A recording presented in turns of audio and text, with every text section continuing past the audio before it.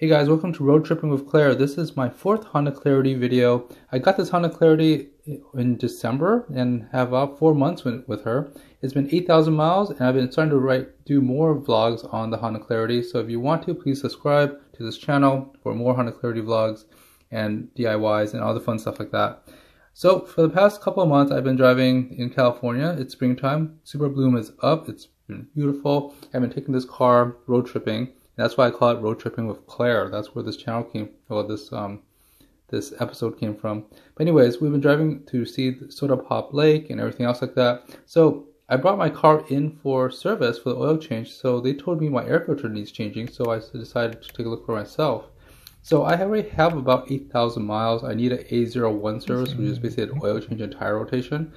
And the service guy said, hey, your air filters are really, really dirty. You might want to change it and we want to charge you a hundred bucks for it. So I said, hey, I'll just take a look at myself a little later, and then I'll I'll probably you know come back later, or I'll change it myself later.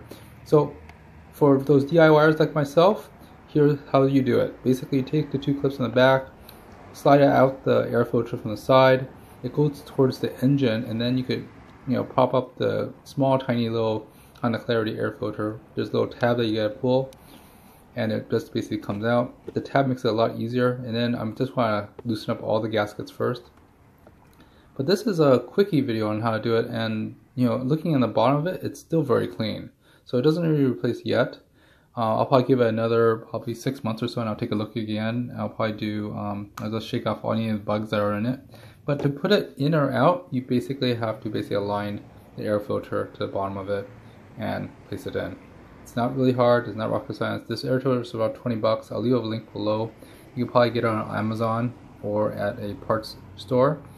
Um, but anyways, putting it back is the same thing. Just reverse the order. You know, I'm gonna basically check, make sure the air box is clean. There's these two tabs that slide into the side of the housing of the air box, and that's where you have to basically pop it up and slide out to open it. But those two tabs slide in, so they don't go straight up; they slide in. And then um, and the two clips on the side. So let's go ahead and put this tab back in. And let me put this down for a sec.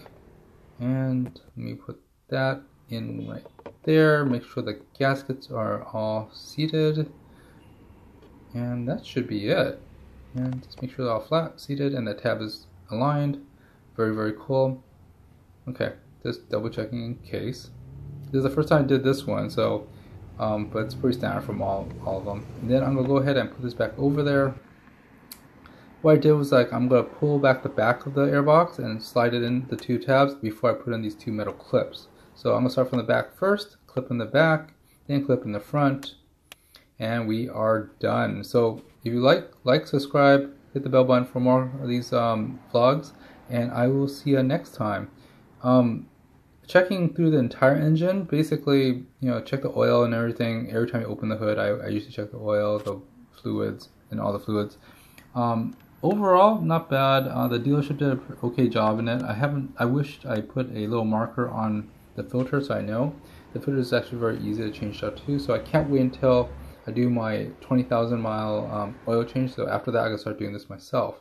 Again, I have other vlogs on spare tires and everything for the Honda Clarity and other my other vehicles. So please like, subscribe, hit, go ahead and, and, go to Instagram too. There's a lot of stuff on the description below of where I traveled, the flowers, I, I, and the photography I do. It's all on my Instagram page. And it's a lot of road tripping with uh, my cars. And so basically I put a lot of um, miles on them. Anyways, see you next time. Thanks for watching. Bye-bye.